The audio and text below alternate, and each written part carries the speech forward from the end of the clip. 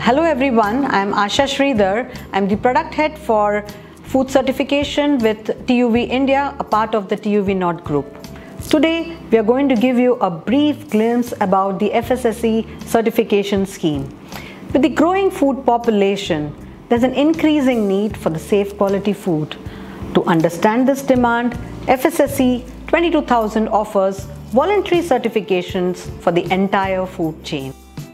The scheme is designed with the independent quality system standards such as the ISO 9001, ISO 22000 and the TS 22003. The FSSC also addresses the sector specific prerequisite program for the food manufacturing, packaging, catering, retail and wholesale, transport and storage, including animal feed and farming.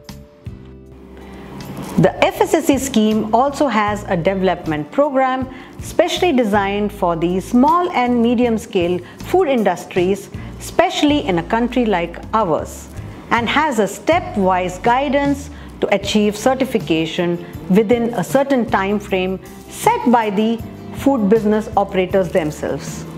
The FSSC also offers the FSSC-Q, a combination of both the FSSC as well as the ISO 9001. Some of the additional features in the scheme include management of services and purchase material, product labeling, food defense, food fraud mitigations, environmental management, as well as management of allergens, along with the FSSC addendum modules which you can also incorporate within your certifications.